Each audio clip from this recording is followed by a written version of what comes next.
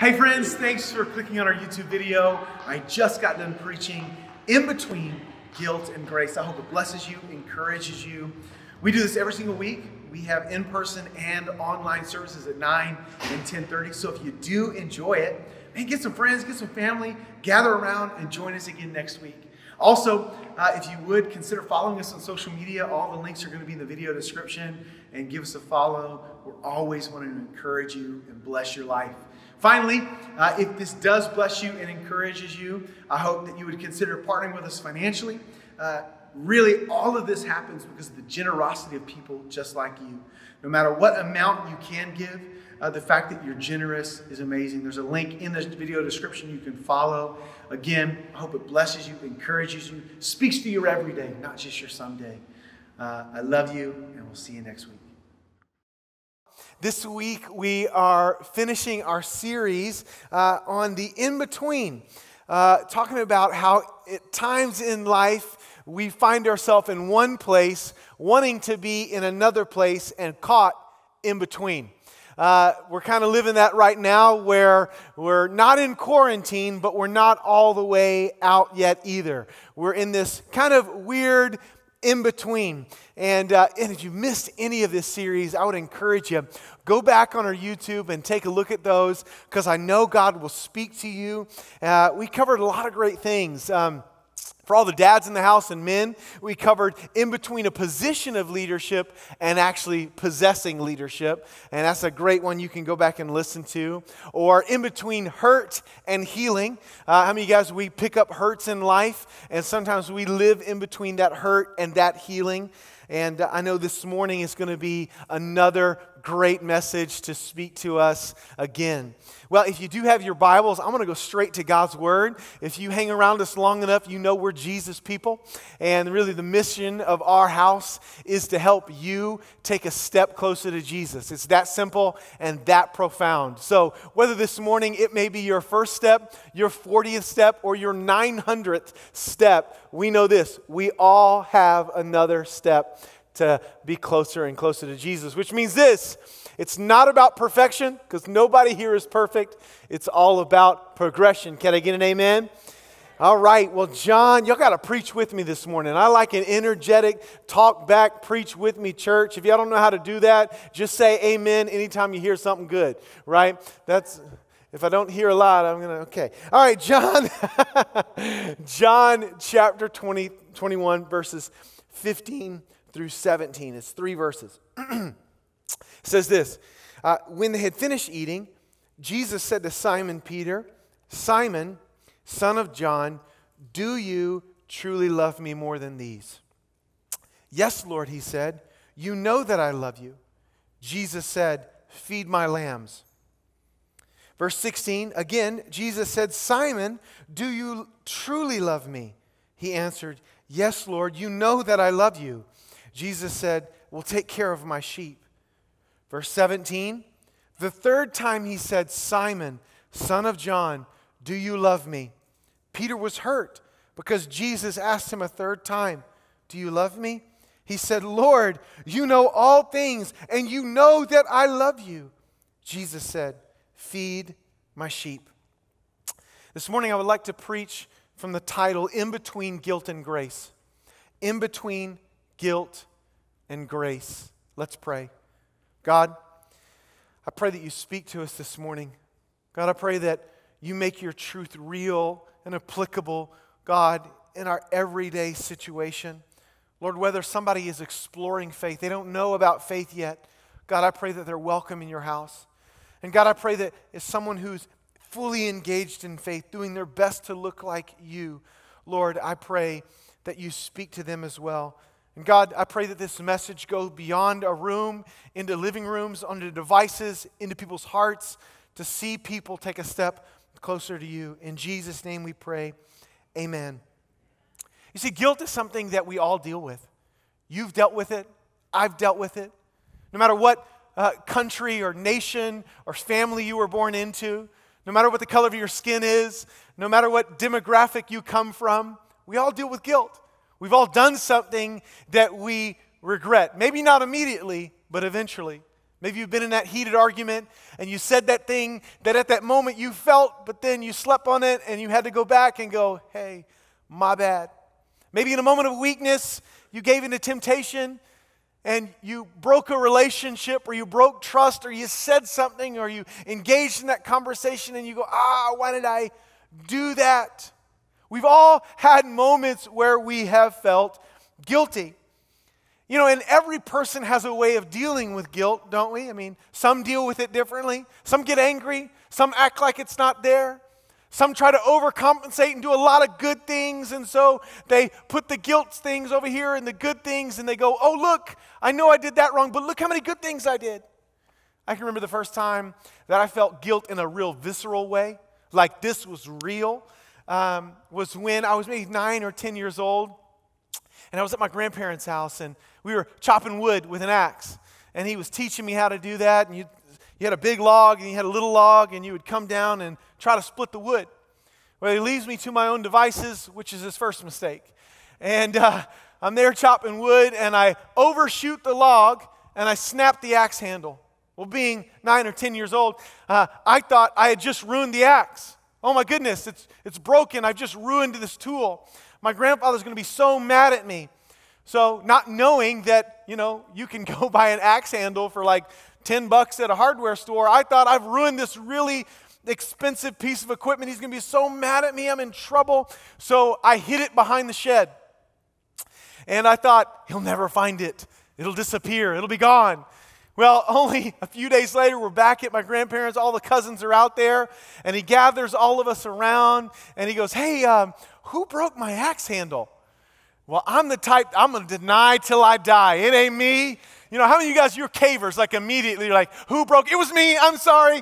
I was not that, I was gonna like, I'm gonna go down to my grave denying it. He's in heaven right now, probably watching me going, oh, okay, it was you, because uh, I never told him.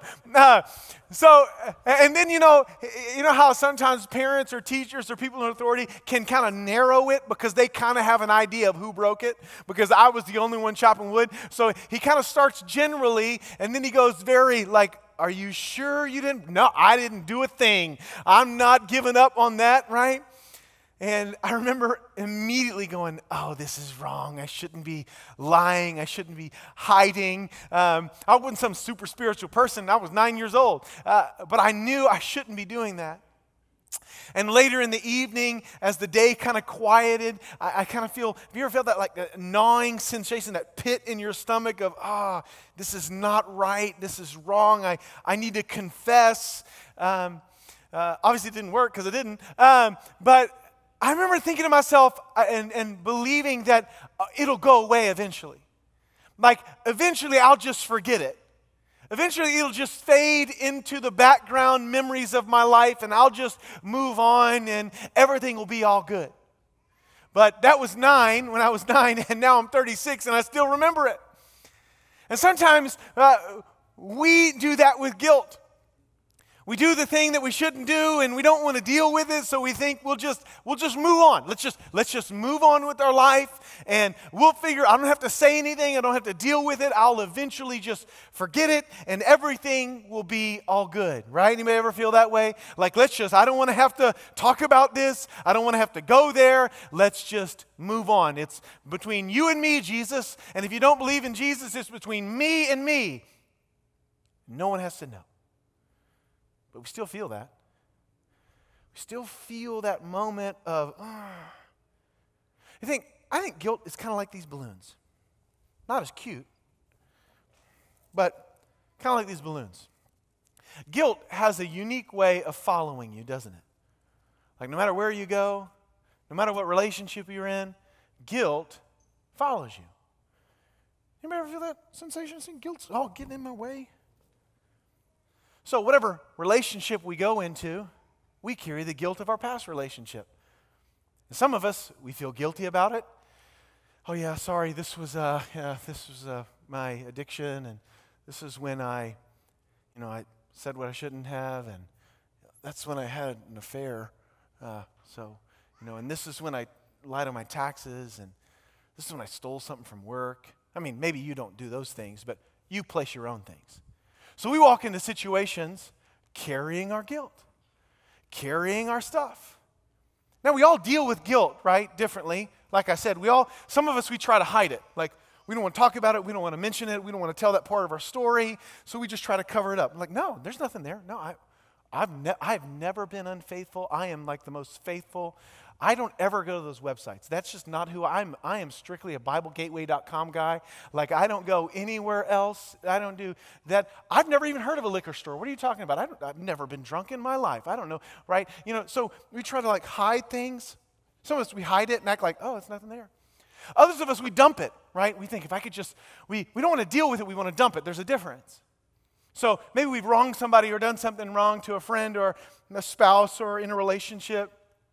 And we feel guilty about it, so we want to confess it without dealing with it. So all we do is we take our balloons off and give it to them and then attach it to them. We're like, oh, I feel so much better about it. But now they're carrying our guilt and they're like, wait, you just, you didn't deal with anything. You just dumped this on me. And then you go, ah, I feel so much better, don't you? No, I don't feel better. You just, you just told me something horrible. Anybody ever do? Anybody ever have anybody do that to you? Let's say that. Or we want to explain it away in a way that, like, what made us attract these balloons is like, yeah, that's totally normal. Yeah. Well, you don't, eh, balloons, guilt is just part of it, part of the human condition.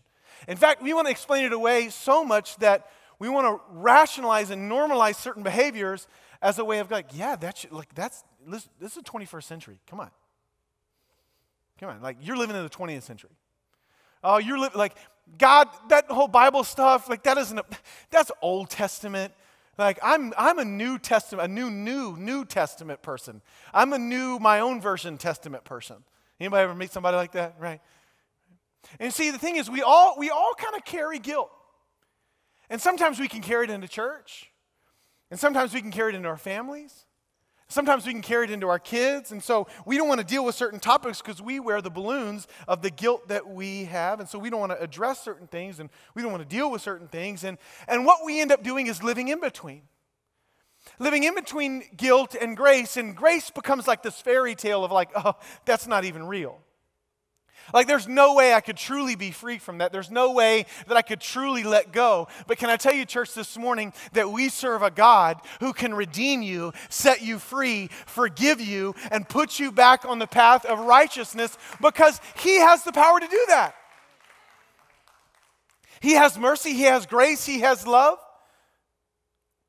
You see, this, we all have guilt, but the problem is that we deal with our guilt. We tell ourselves, I'll figure it out. We tell ourselves, I'll, I'll hide it. I'll rationalize it. I'll figure out a way to deal with it, but it follows us. You see, guilt isn't necessarily always a bad thing. Sometimes guilt can be a good thing. In fact, in 2 Corinthians 7, verse 10, it says this that godly sorrow, right? So, godly guilt brings repentance. So, there's moments when We'll first feel certain guilt and we'll go to God and God deals with it. God's able to restore. God's able to forgive. God's able to put us back on the right path. God's able to kind of go, okay, thank you for coming to me. But there's another way that says, but worldly sorrow or worldly guilt brings death. Now, what is, what is worldly sorrow? I think worldly sorrow is shame. I, I like to think of it like this that that shame is guilt grown up. Shame is guilt fully matured. Shame is guilt that has taken root in your life and produced fruit called shame. Here's the difference, because you may not understand. The difference is that, that guilt says you did something bad. Shame says you are someone bad. You see the difference?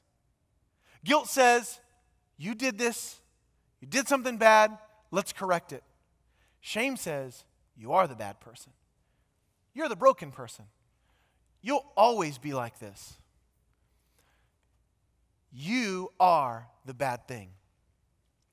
I think shame always tries to attach our activity to our identity, doesn't it? Shame tells us that we'll never change, we'll never rise above, we're always going to be this type of an individual. And so, you know, quit trying anyways. Because you're not going to be useful. No one can really love you. No one's going to trust you. No one's going to be able to use you. Like, no one's going to be able to kind of look at you and go, oh man, what a woman or man of God. What a, what a good husband. What a good wife. What a good father. What a good mother. What a good employee. Because shame is telling you none of those things. Not that, not that simply I did something wrong, which we've all done, but you are the wrong thing. You're the screw up. You're the failure. Not that you failed, you are the failure. And so anything you ever try to do will always end in failure because you are a failure. Every marriage you get into will be broken because you are broken. Every friendship that you try to have will fail because you're not a good friend. Anybody ever deal with shame? Anybody ever get stuck in the in between between guilt and grace and this massive hurdle called shame is telling you, no, you didn't just do something bad, you are bad. You know what I love about Jesus? Jesus will tell us the truth, but will always point forward. Jesus always says, Yeah, you did that bad. I'm going to tell you the truth. I, I, remember the woman who's, who's about to be stoned because she committed adultery? Maybe you don't know the story. And all the Pharisees and all the religious people, they've got their rocks and they're ready to kill her because she did something bad. And she could never do anything more than that bad thing. And they're all lined around her and they got their rocks ready, getting ready to hurl it. What does Jesus do? He comes in, he says, Hey, if anybody's perfect, you throw the first rock. They all drop their rocks. What does the Jesus says? Jesus says this, Hey, hey, hey, woman, you are forgiven. Go and sin no more. So he, so he, he tells the woman the truth, but he also speaks to her future. You see, the reason I love Jesus so much is, is shame will always tell you you're not, you're a failure, you're broken, but Jesus will always speak into your potential and into your future. He will call you a son and a daughter before you ever behave like one, before you ever act right. In fact, Romans says that while you were still sinner, he went to the cross, meaning that they are still worthy of my love before you ever began to behave like that. Shame says, no, no, no, they don't deserve me. Grace says, even before they behave, I'm going to die for them.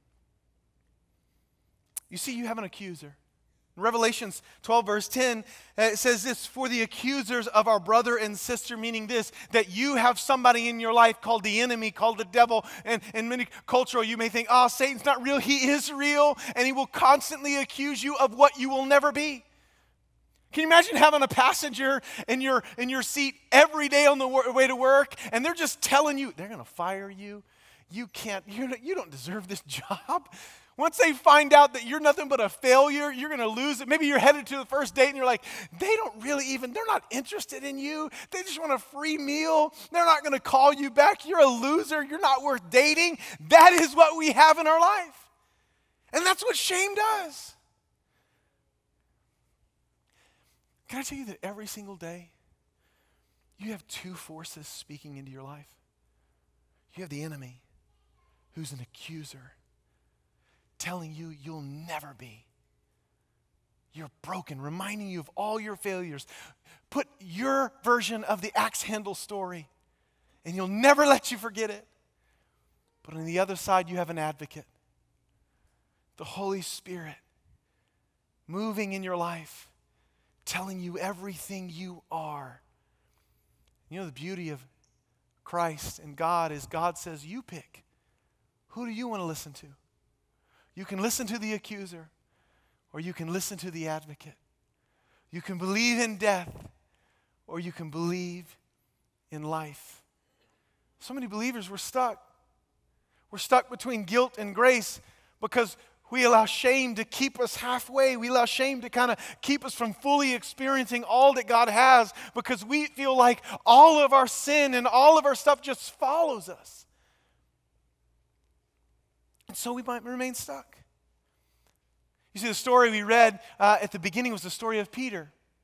And the story we, we find here in John chapter 21 was, was literally the last interaction Peter has with Jesus and his disciples before he goes to heaven. And the funny thing is, is this story actually happens after Jesus had died on the cross and rose from the dead. And so, so what I love about Peter is Peter is the type of guy who's always putting his foot in his mouth. Anybody relate with a Peter? Always doing the wrong thing, always screwing up, always messing up. In fact, if like I was one of the other disciples, I would watch what Peter does and do the opposite thing, right? Like that's a good policy. Okay, Peter does that, I'm not. Anybody ever feel like Peter? Like, man, even when I try, I still mess up. Even when I'm trying a good thing, I still screw up. Okay, I'm the only Peter. You guys are all Johns. Praise God for that. You guys are all the good people. I'll just be Peter. Okay, cool. That's right. Work, works good for me. Peter's at the last dinner with Jesus. And to set this story up, um, Jesus is telling his disciples, hey, listen, you guys are all going to abandon me in a moment of difficulty. Peter, big chested, not me, Jesus. Not me. I'm ride or die. I'll be with you to the end. I'll go to prison for you. I'll go to battle for you. How many of you guys got those friends that like talk a big game and then when you need them, you're like, where you at? And funny thing is, Jesus goes, Peter, Peter, Peter. Listen, man. You know, actually, before before the dawn comes, this is an evening meal. Before the dawn comes, you're going to deny me three times.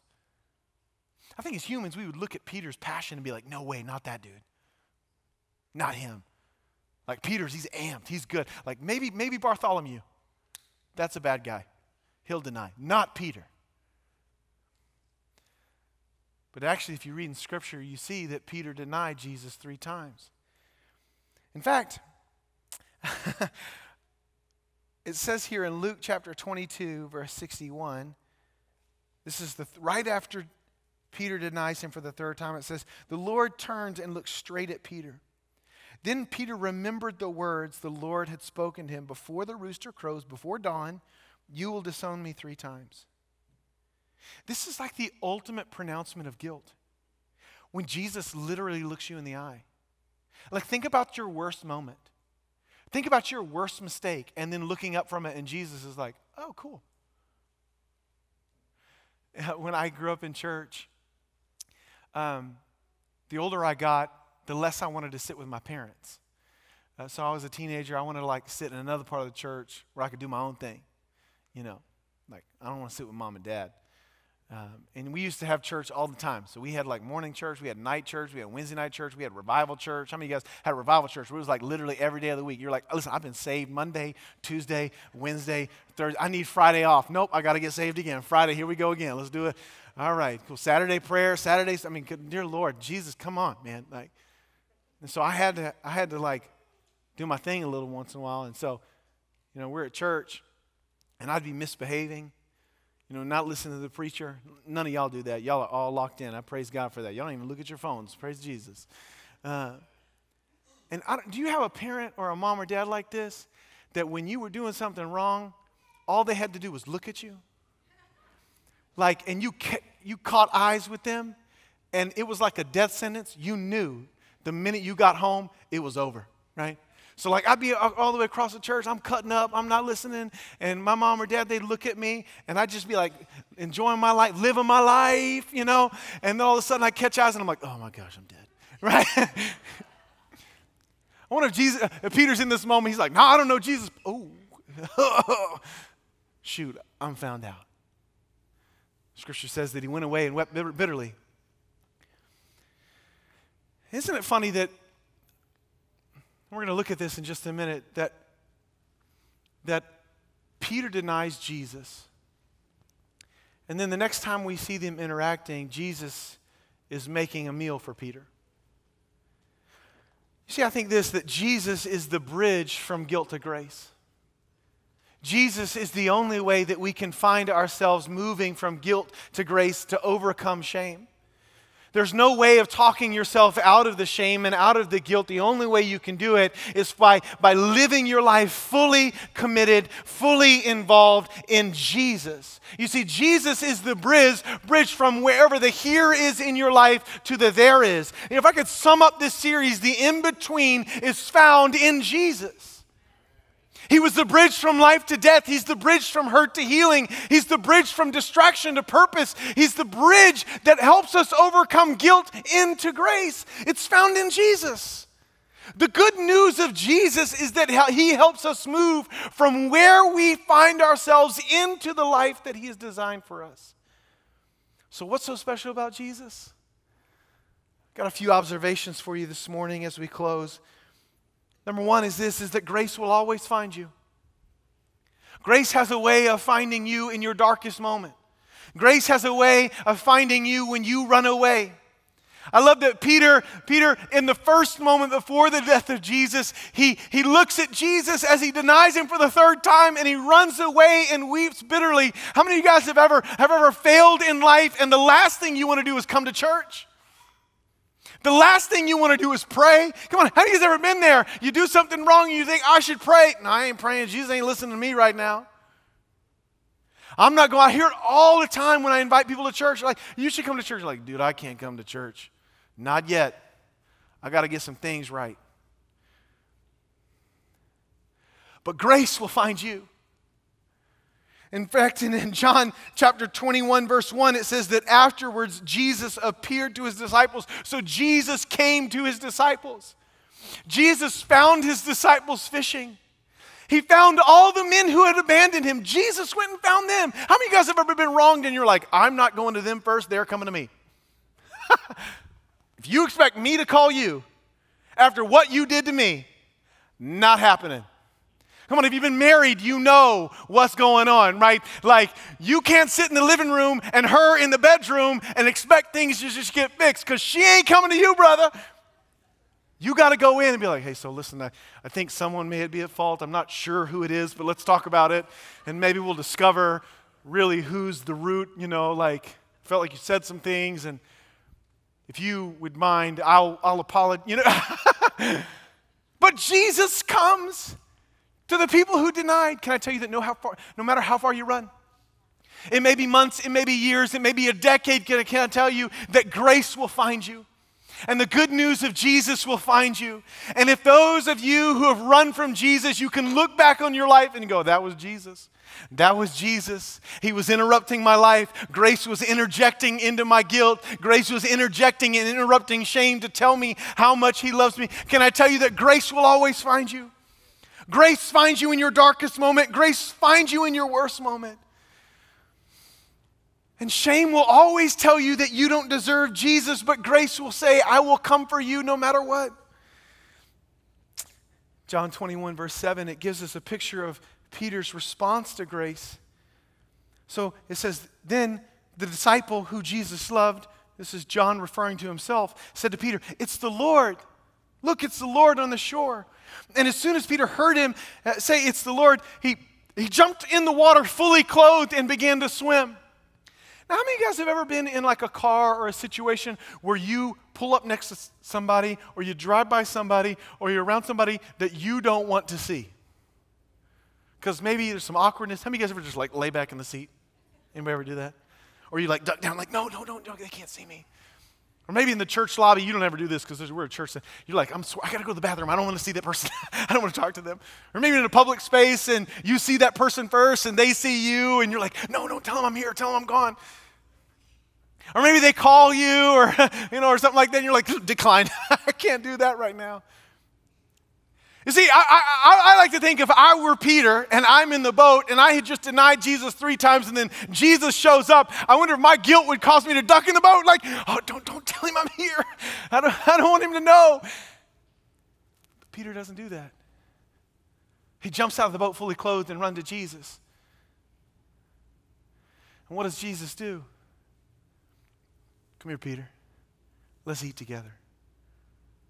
Isn't it funny that Jesus doesn't even ask Peter to own up to his problems before Jesus is like, hey, let's eat together. Jesus doesn't go, no, you, you, you, you sit on the outside. You can, you can have whatever's left over. But Jesus says, hey, come on, let's sit next to the fire. It's, it, Jesus doesn't even ask Peter to, to deal with the problems. Grace finds a way. maybe you're here sitting here this morning and you got balloons, you got guilt, you got shame, and you're thinking that Jesus doesn't want to have anything to do with you. But all Jesus is doing is saying, hey, let's sit and talk. Let's sit. You think Jesus is all about religious behavior. No, no, Jesus is all about a relationship with you. He wants to talk with you. Hey, let's get there. We'll deal with that. So grace always finds you. The other thing is grace gives you purpose. In um, John chapter 21, verses 15 through 17, Jesus asked Peter three times, Do you love me? How many times did Peter deny Jesus?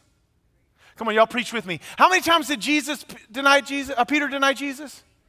That was like that was like three of you. Come on, let's get like 30 of you. How many times did Peter deny Jesus? Right. Here's what that means that the number of times that Peter failed was the number of times that Jesus could cover it.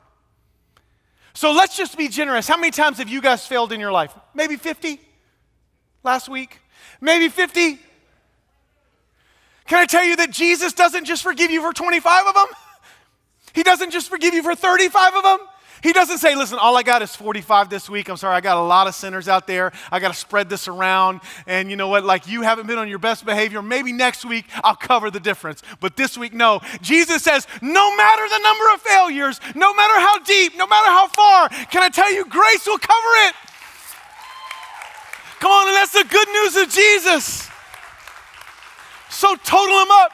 Get your calculator out, add them up, and Jesus will meet you every single time. I got you. I'll cover the bill. I'll deal with it.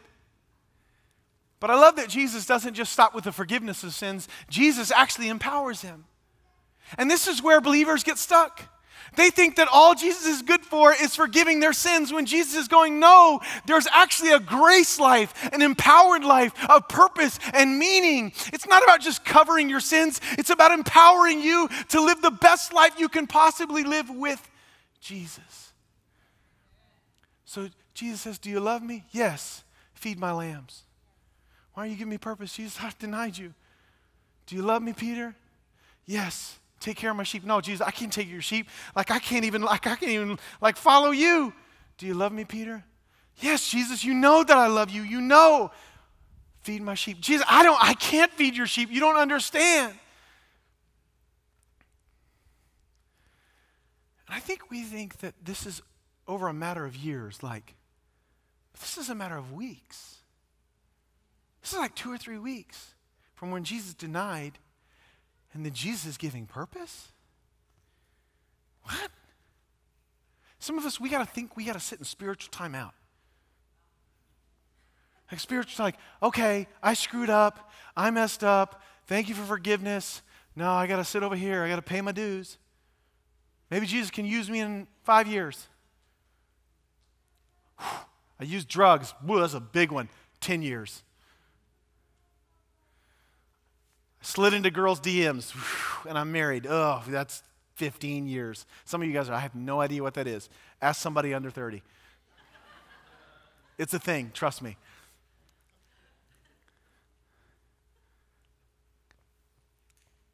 See, I think this that, that when we come to Jesus with repentant hearts, grace can not only find you, but grace can give you purpose immediately. And can I tell you that your greatest trial will become your greatest testimony because you can say, I am not a picture of perfection, but I am a picture of God's grace. And can I tell you that He will use you right where you're at? What is Jesus' most prized possession? His sheep, you and I. And yet Jesus trusts Peter with his most prized possession. That's what grace will do. Grace will find you, grace will forgive you, and grace will give you purpose. Isn't it crazy that the denier becomes a declarer? What do you mean? The first message in the New Testament outside of Jesus was who? Was Peter. And it was just a few days after this interaction. And he stands publicly full of the Holy Spirit, and it's a simple message that Jesus is king, and 3,000 people give their heart to Jesus. Man, my first message, I think 3,000 people quit. The denier becomes the declarer. Can I tell you that's for your life? But the enemy wants to keep you between guilt and grace and going, I don't know that I can really be used by God. I'm too guilty. No, you're forgiven.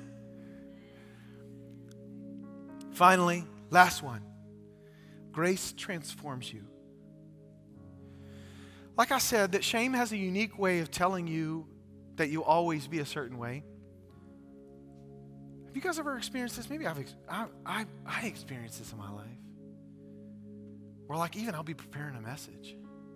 I'll try to lead a church, try to, like, navigate all this stuff.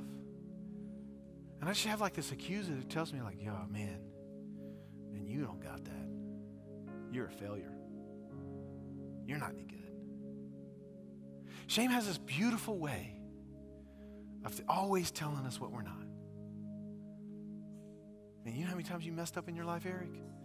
Yeah. I remember all of them. How many of you guys remember all of them? If you think hard enough, you can definitely remember them. Shame has a way of like, okay, go try. Do the Christian thing for a little bit. Try it out.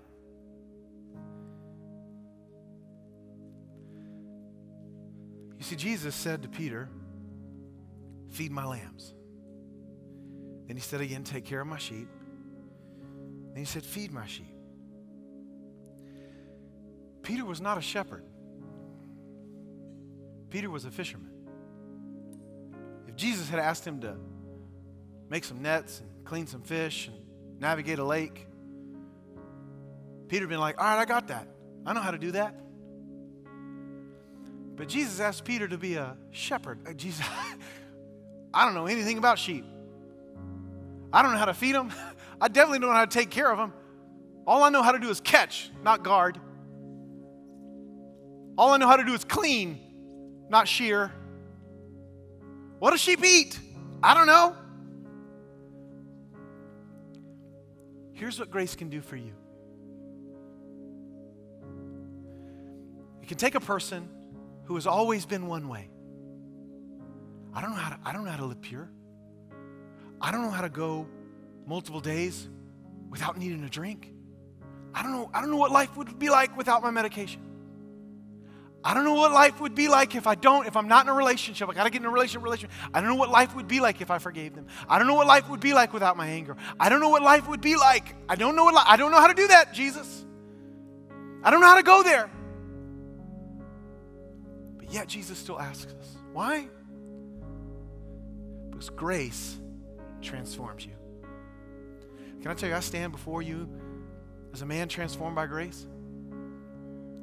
And I'm going to tell you, go around, talk to people in our church.